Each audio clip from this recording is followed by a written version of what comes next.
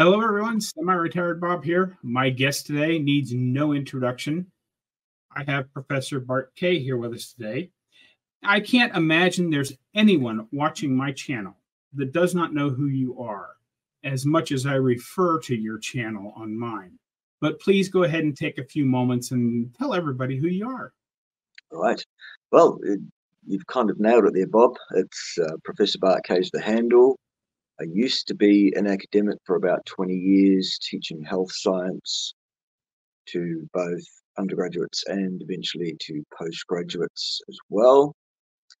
Um, thought much better of academia, the whole institution, the whole idea, and decided in a fit of madness one day that I was going to be a, an online social media influencer instead. Uh, somebody told me that YouTube was the way to do that, so I started a YouTube channel. Uh, and now, five years later, I've got five YouTube channels and um, a few people interested in what I've got to say, which is great, I think. Yes, indeed. There are a few people interested in what you had to say out there. And I came up with an idea that I thought would be kind of fun just for the first little bit of this interview. Um, you use some terms in your videos that some people might not be familiar with. So I thought perhaps we could do a little instructional video here on how to watch a Professor Kay video and understand what the heck is this madman talking about.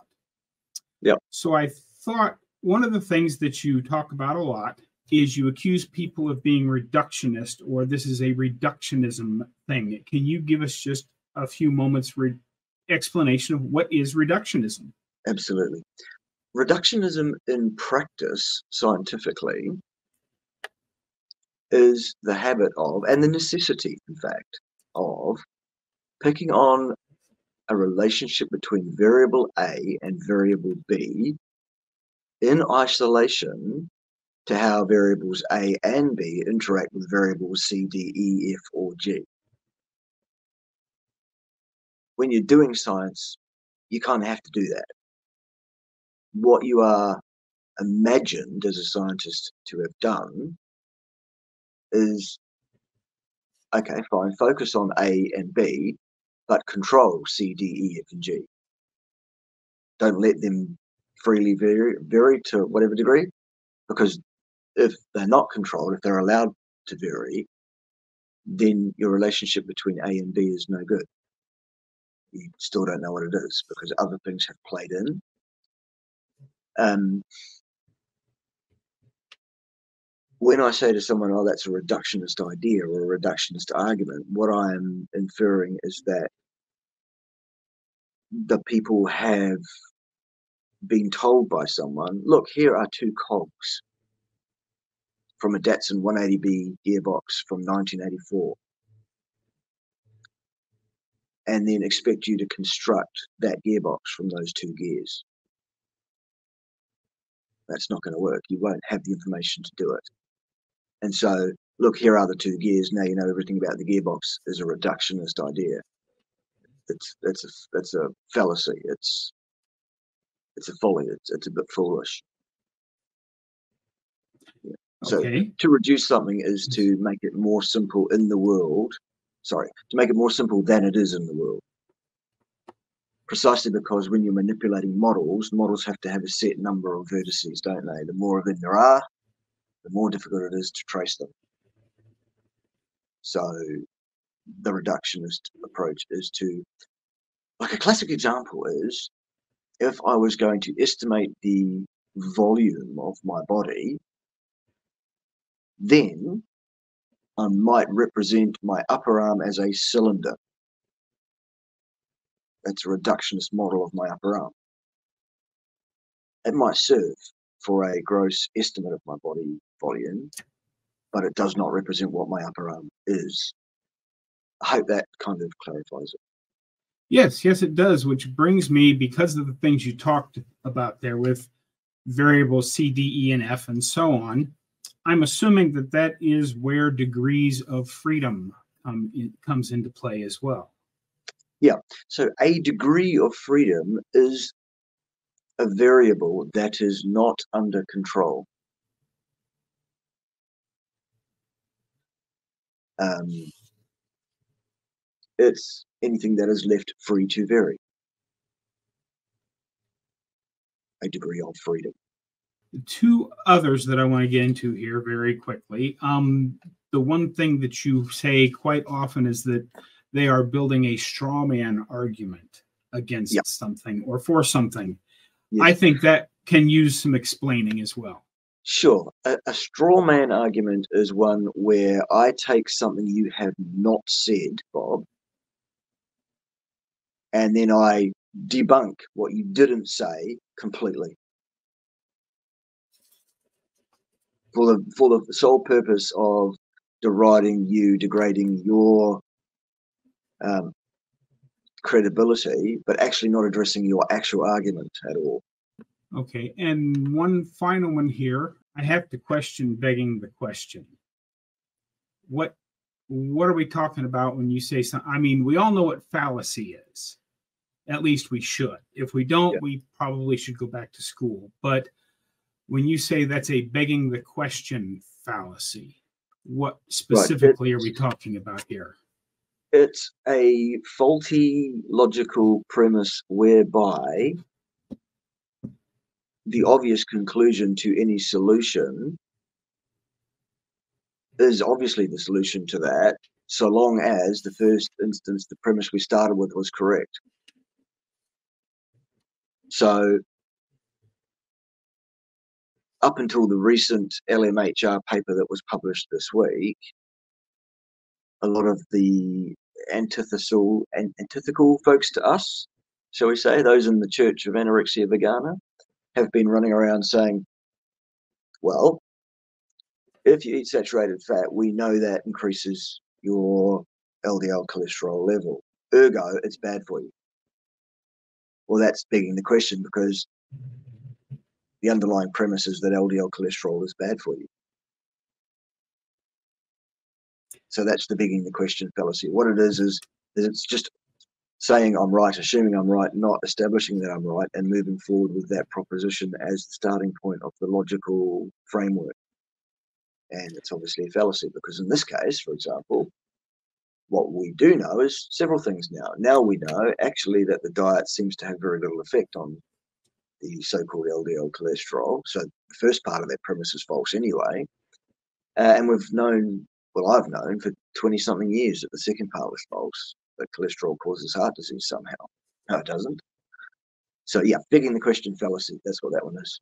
Well, hopefully this first little part of the video will help some of my viewers when they're watching your content. And I suggest they always watch your content. I know I always do.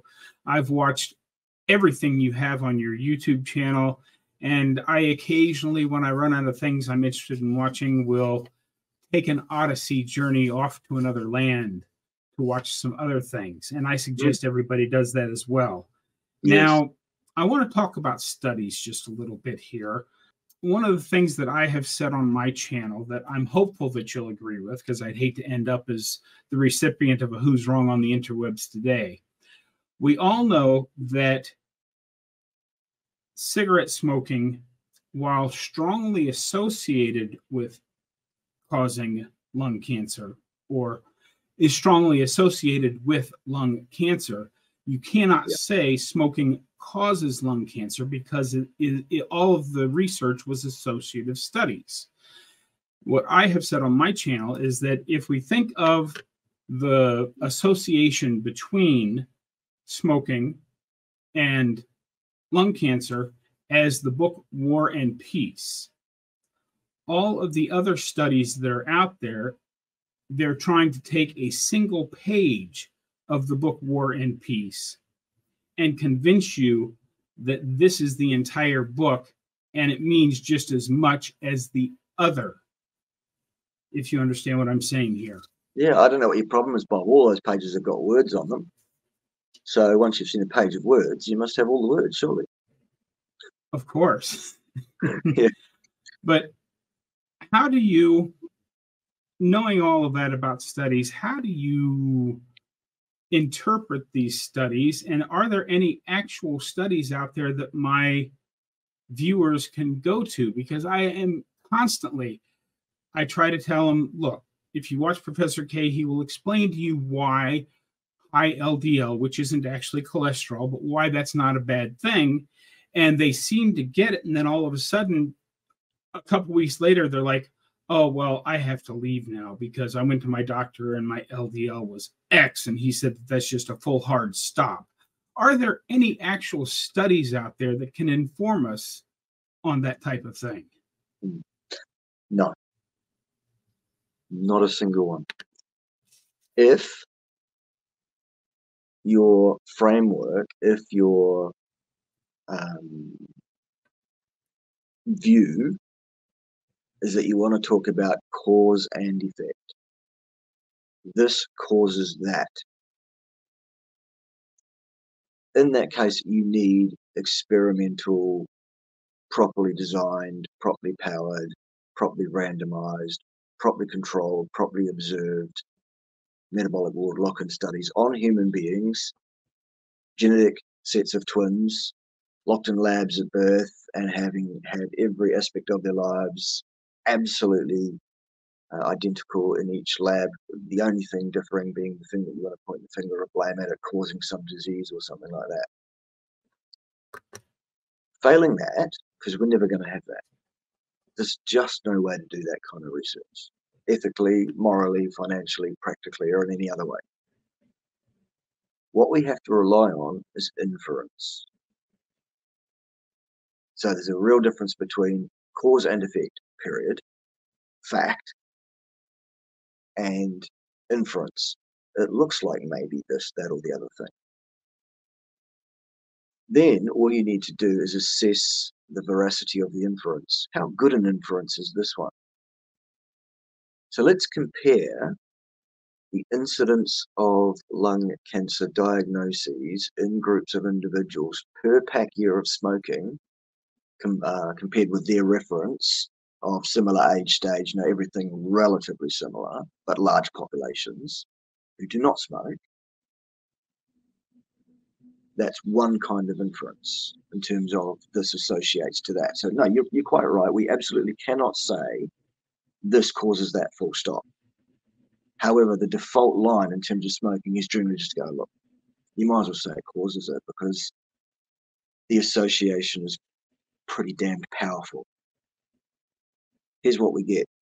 For every pack year of smoking, which is 20 cigarettes a day or equivalent for a year, there is an 11 1,500% increase in the incidence of lung cancer. Now, people poke straw men at me. Here we go. Here's an example of a straw man. People that will comment on me will say, he's saying that smoking doesn't cause lung cancer. No, I'm saying there's no evidence that we can provide that it does, which is correct. However, 11,500% is pretty damn convincing, is it not? which is a completely different thing. That's what I actually did say, for example. Um, and you compare that to what you look at when you look at something like an LDL study, somebody's LDL level or a, or a large group of people's LDL levels versus their incidence of heart disease, you get quite a wide range. You you get some studies that say there's no real relationship here at all. You get a few that say yes, there's a relationship, and then they make that relationship look a lot bigger than it is so that they make themselves sound important in the way they report it. And some studies even find a decrease in heart disease incidence as that relates to cholesterol. So this association is wishy-washy. It's weak at best. It's around the most severe I've ever seen is around 30% relative now, that relative that I stressed there is a very important word. Here's what they do to make that number sound like, oh, that's 30% increase. That, that must be something, surely. What am I talking about? Am I nuts? Well, here's the question 30% of what? 30% of baseline rate. So the only way to know how powerful that statistic is is to go back and find out what the baseline was in the one equals zero risk referent group. And what you find out is that in such studies, typically the death rate is eight per 10,000 person years of follow up. Eight per 10,000. So a 30% increase on that is what? 24 per 100,000 person years of follow up. So in terms of an actual practical real world meaningful change in incidence, even if that was a cause and effect relationship, which it is not, it's an association, but let's just imagine it's causal for fun. That means my exact chances of dying of heart disease, which has gone up because of this cholesterol, is 24 chances in 100,000 per year. Past the state.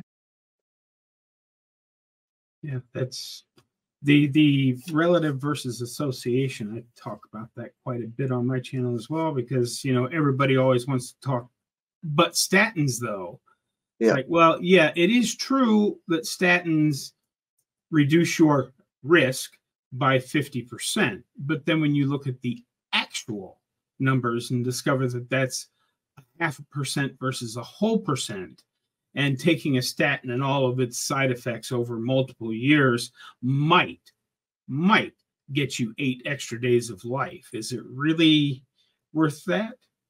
I don't think so. I don't either for the side effects that are quite likely on that particular medication, um, knowing full well about its pharmacology. My personal opinion, this is not medical advice in any way, shape, or form, this is my personal opinion, is that nobody should touch that drug with a barge pole under any circumstances. I wouldn't Thank go anywhere near it personally at all, and I never will. I have my own statin story because I was on one for multiple years, but Anybody that wants to know about that can go tune into some of my other videos where I talk about that. We have you here today, so let's press on with the important work that you're doing. One of the burning questions that I have had for a long time, and I'm okay, gluconeogenesis. Is it demand driven or isn't it? Or is it a combination thereof? Right. Most of the time, it's demand driven i.e., in any postprandial stage, basically. Your body is metering and gauging how much glucose is in your blood, and if it detects a drop in your blood glucose, it will upregulate the gluconeogenesis to maintain a homeostatic level. The only time that gluconeogenesis becomes supply driven is if you punch in too much supply. that can't be dealt with in another way. And then your body goes, well, it goes through this pathway then. And I'm thinking of too much protein as the obvious example. Um, once your body has absorbed all the protein it can and all the amino acid pools are replete and there's nowhere else for amino acid to go, then it's going to start deaminating, i.e., gluconeogenesis, that's that's a fait accompli at a certain point. But most of the time, yeah, demand driven, demand driven, demand driven. That's why your blood glucose remains really stable on a carnivore diet throughout the day. The only time you're going to get any meaningful diversion away from your baseline blood glucose level is in the hour or two after your one meal a day and probably in the morning as part of the, the, the normal dawn phenomenon. The rest of the day, you're going to be flat flatlined at around somewhere between 95 and 105, probably.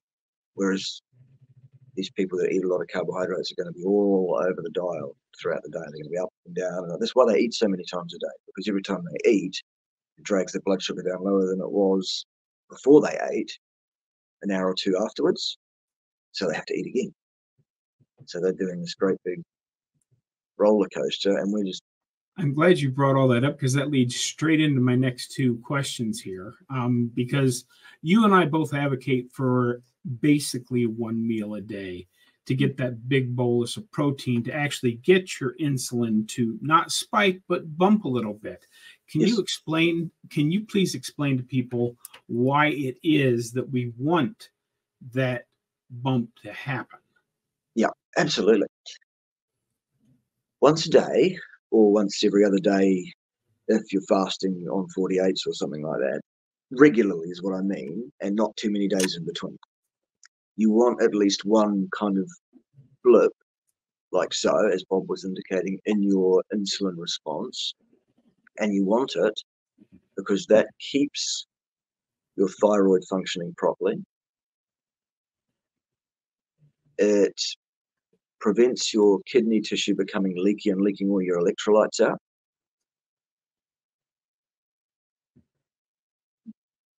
insulin does many things in the body. It's not just the marshal of sugar into cells.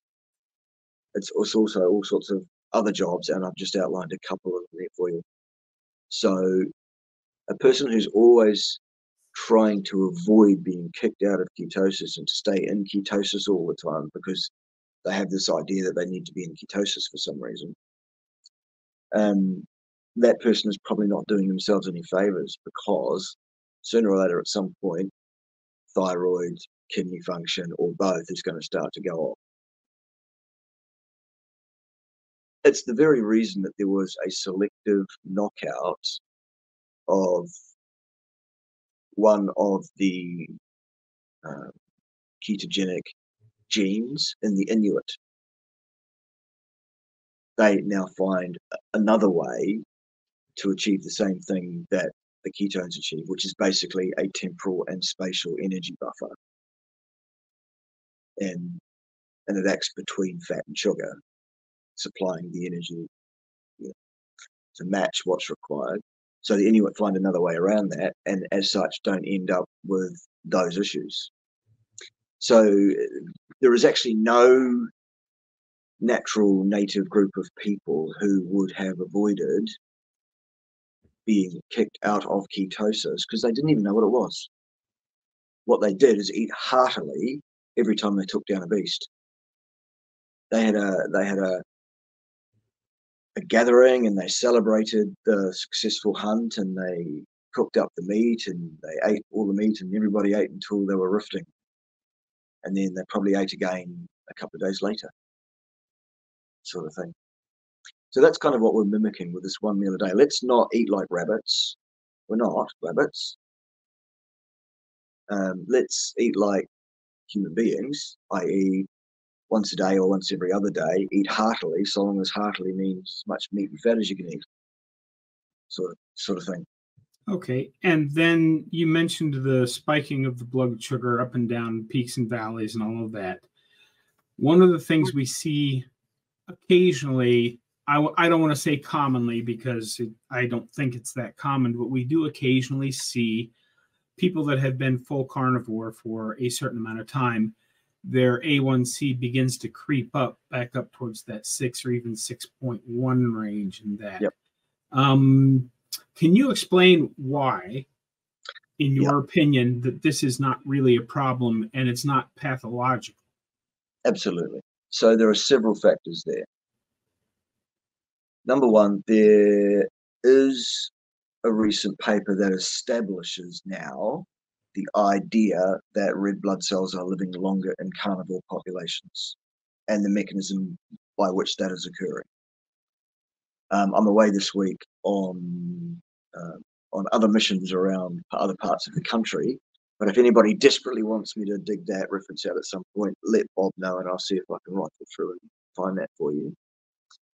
So that's now seems to be a more solid argument because there's at least one paper that says, well, yeah, look, this is this is it happening.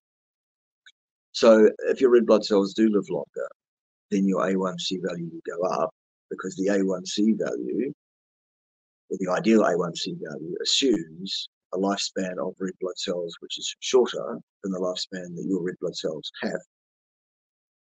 So it's an inappropriate gauge on your red blood cells. Secondly,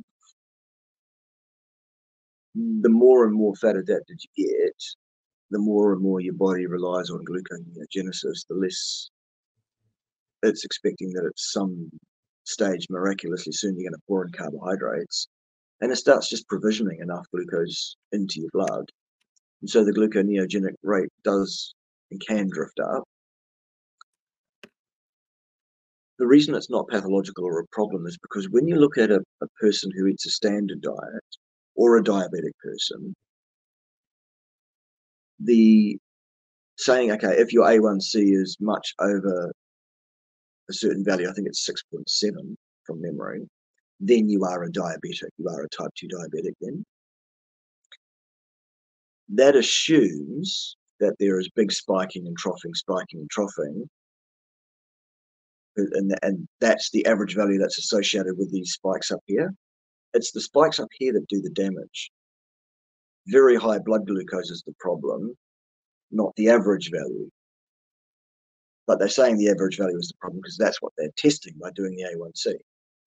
So again, it's a metric that it's a piece of kit, it's a tool that is supposed to measure something, but it's not appropriate for task here because it only accurately gives you a gauge on someone's blood glucose control in the case where they're eating that standard diet and doing that there is no evidence whatsoever that consistently and persistently having an, a, a blood glucose between 95 and 110 is going to be a problem for anybody long term because that's not the level at which glucose starts to really damage tissues. So you can drift along at that level indefinitely and, and not expect that there's going to be a major malfunction. I consider myself one of the lucky ones because I did the most bad thing you can possibly do, according to you.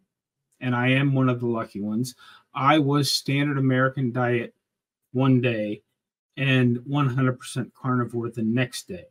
I'm hmm. now almost two years in, so I don't expect to encounter any problems at this point. If I do, I'll be certainly certain to call you.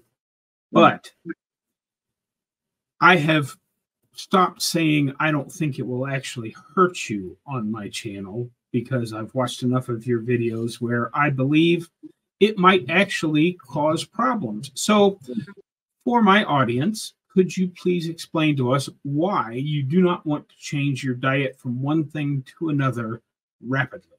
Yeah, absolutely. I'm glad you got away with it, Bob, by the way. Some people do. And you're one of those mm-hmm. ones who had the particular constitution and lucky enough to have the right circumstances in play that you didn't have a, a major meltdown. So that's great. But the reason that a person, a given person, should not do that is because it invites the following problem. In your colon, there is a group of bacteria that live with you all the time that help you to break down various substances a little bit and they produce various neurotransmitters and do various things. But mostly, they're there for their own ends. They're there because you're you're a safe environment to live in. It's warm. They have all the moisture they need. There's a constant supply of nutrients. It's fantastic, and so they come to a peaceable arrangement amongst themselves about how many of each species there's going to be and how they're going to colonize, and everybody's happy.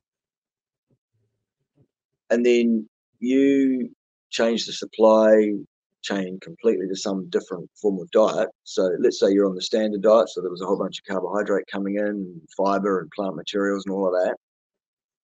And then you go, oh, I'm going to hammer over tomorrow and go carnivore, and you remove all that stuff. And now you're just piling in the meat and fat. Those bacteria who are expecting to be fed sugar are not best pleased with the fact that you're not providing any. So the first thing they'll do is they'll go to war with each other for limited resources. Part of that warfare is the exuding of deadly chemicals to kill off other bacteria so that they can be the last ones left and prevail and you know for what limited resources there are that tends to upset the gut lining quite a bit once the gut lining's upset that sets off chronic systemic inflammation if it's not resolved and you can end up with any of those disease processes, which we know absolutely are all underpinned by inflammation. Those being type 2 diabetes, type 1 diabetes as well to some degree, obesity, overweightness, the so-called metabolic syndrome, so-called insulin resistance, so-called, you know, fat-induced heart disease. No, it's inflammatory. Um, strokes, most forms of dementia, all the big killers in Western society, basically, they're all based in inflammation. So you don't want to upset your gut because in the long term that's bad. And in the short term, it means that everything can go very custard shaped, quite literally, in terms of your gut function.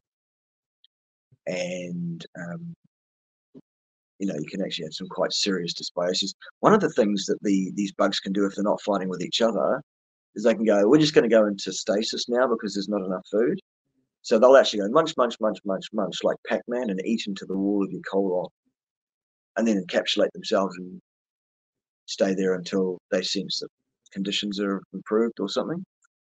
Some of them can last months and months and months before they actually finally die and get ejected. And all that time that they're in there, they're irritating the the colon, causing that inflammation, leading to the those issues, that atherosclerosis, those those strokes, those heart attacks, leading to the the likelihood to carry more body fat, and to add body fat, throwing your metabolism into the wrong gear, messing with your hormones. It's an it's, it's an insidious thing. So what I suggest is that if you do want to change your diet from anything to anything else, actually, that you take six eight weeks over that transition. Do it slowly and steadily. Let your let everything adjust slowly so that you don't set off an all-out war, basically. You are a cardiovascular pathophysiologist, so you know quite a bit about this. And while I know there is no study out there that can, there's no way to say this is definitely the cause, and this is this is what happens. But in your educated opinion, since we have decided that it's not LDL that causes heart disease, that's almost a given, even though I can't say it's definitely not because we don't have any proof.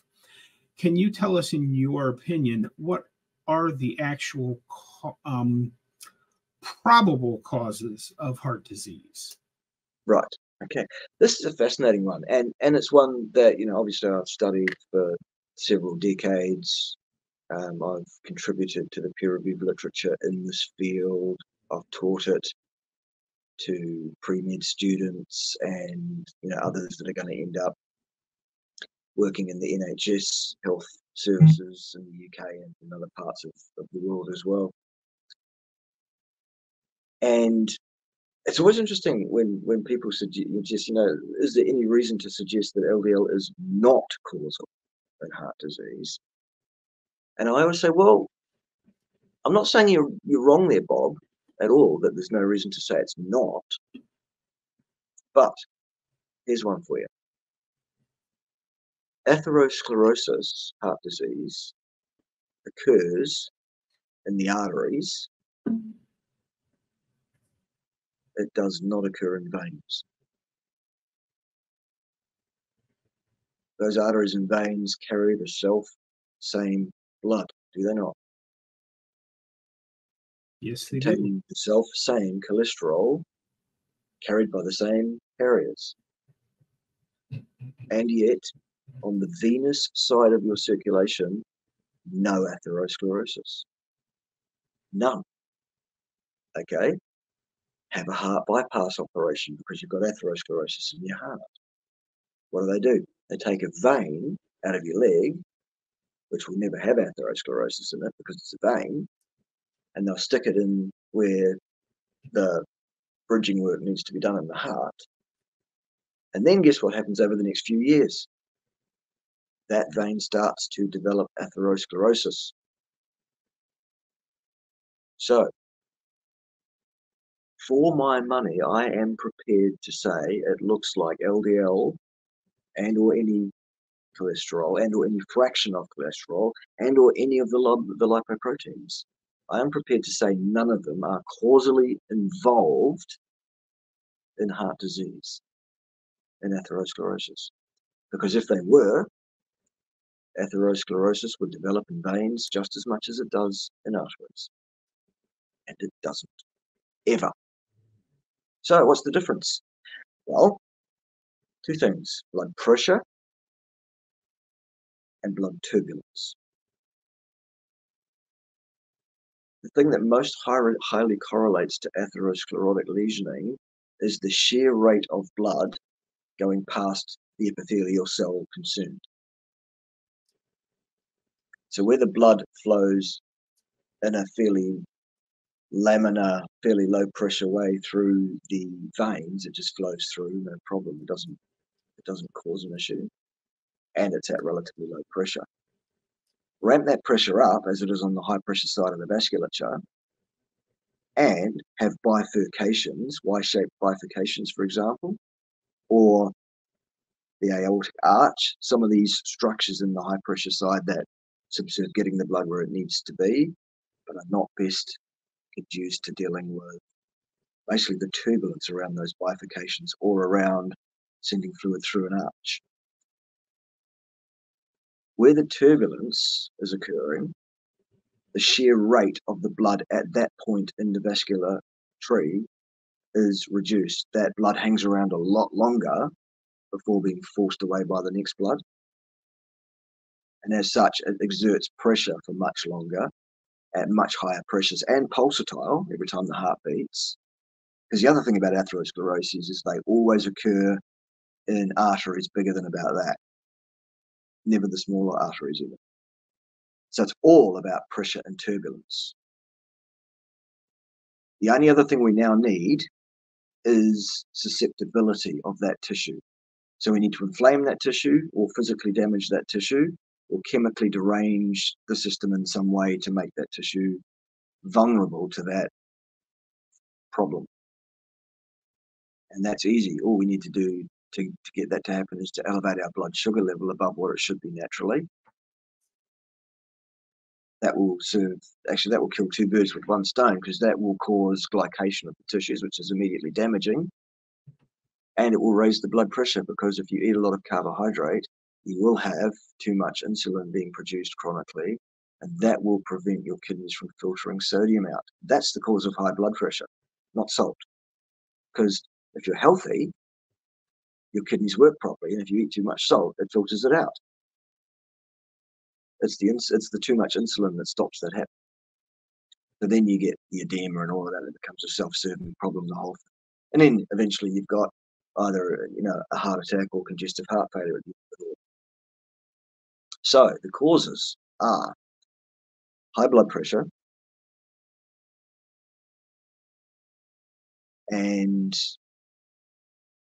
derangement of molecules via oxidative damage and or glycative damage both of which are also ameliorable the only reason that we're not really doing a great job of that, I guess, is because the medical establishments are still firmly focused on believing that LDL is the causal agent, which is akin to blaming forest fires on the fire crews, frankly. It's that ridiculous. So that's basically the etiology, which means the cause, the underpinning of heart disease. Thank you very much for that. Um, one other quick thing that I want to go over here before I, you know, let you go, because I'm going to be cognizant of your time. You have said you have said many times on your channel that insulin resistance is a construct. Yeah. And as I understand it, it's not pathological, it's the actual body's response via the Randle cycle that causes all of these things to go and not go. Can you give us, as somebody on my Facebook page, I told them we were going to be having this conversation, and one of them asked, could you have Professor Kay give us a quick little explanation on the Randle cycle for dummies?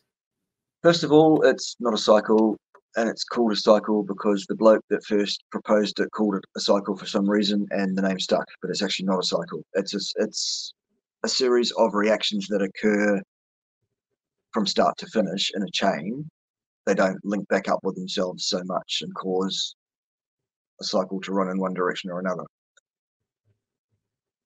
What is the Randle cycle? Okay, in effect, take out all the flowery bits and all the different reactions and things that you don't need to know. What you need to understand is this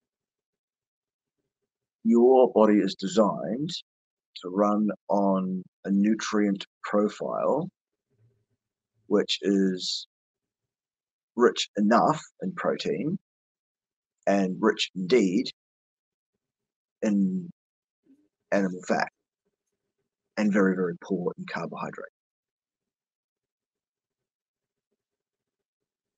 You can have a diet which is equally safe regarding the Randle cycle in a reductionist sense.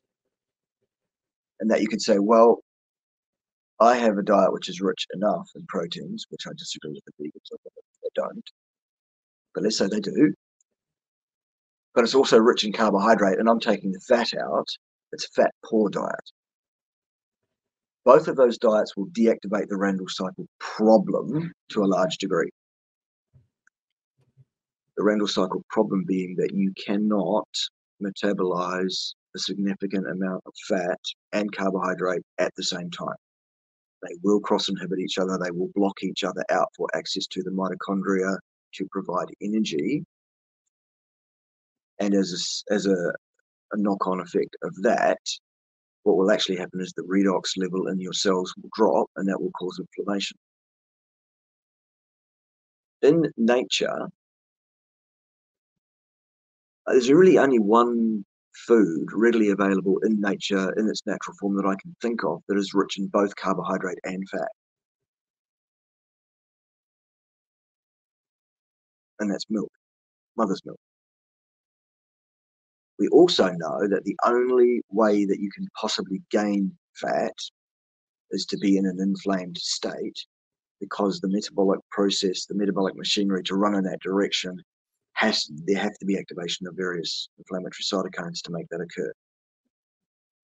And so it seems to make sense that at a time when a child is wanting to put on a lot of fat and a lot of condition very quickly, the best thing to do is to feed them a mixture of sugar and fat, which is what mother's milk is. And they do put on a tremendous amount of fat on that particular you know, food-based item that is appropriate for that child at that time of their life. Once you're weaned, though, the Randle cycle becomes a real issue if you want to start mixing your carbohydrates and fats because it's going to cause a chronic, non-ending systemic inflammation over years and years and years that leads to heart disease, obesity, strokes, diabetes, early death, dementia, all of that stuff. You don't want that. So that's what the Randle cycle is in a nutshell.